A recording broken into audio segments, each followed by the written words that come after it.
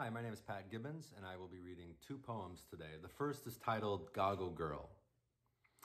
Crouched in mud, eating crackers and sticking to shadows, the lights are looking, their tread is heavy. No smiles in the trees to offer philosophies. Madness and malice abound. The oiled metal and gasoline, popping rivets and stripping gears. Vibrations getting close, and she scurries away, hiding in a movie house. Dracula curiously on a loop, again and again and again. Through her goggles, she feels safely separated as the machines rattle the ceiling, shaking loose building bits that gently fall like snow on two upturned windows. She hasn't moved in days.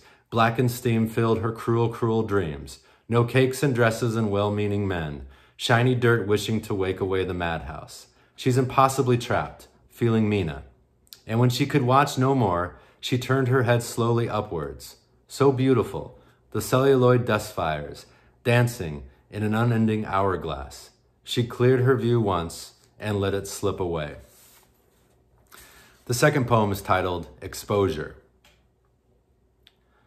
Catalpa flowers are falling like snow today, gently disturbing the rivulets running through a microworld of melting snow caves.